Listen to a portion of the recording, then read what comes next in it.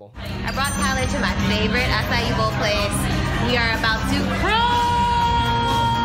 I love acai bowls. Superfoods added in. Markle also provided her favorite acai bowl recipe to iSwoon, noting that it's an indispensable part of her morning routine. show you how I make my acai bowl. Today I'm gonna make an acai bowl. These are the ingredients: banana, strawberry. In time, right? So if you have 47 acai bowl truck food trucks, you may want to anticipate that that food trend could. I don't think I've ever bought almond butter, but recently in an acai bowl, there was almond butter on top and it was so good. So I thought this would be really good on smoothie bowls. And lastly,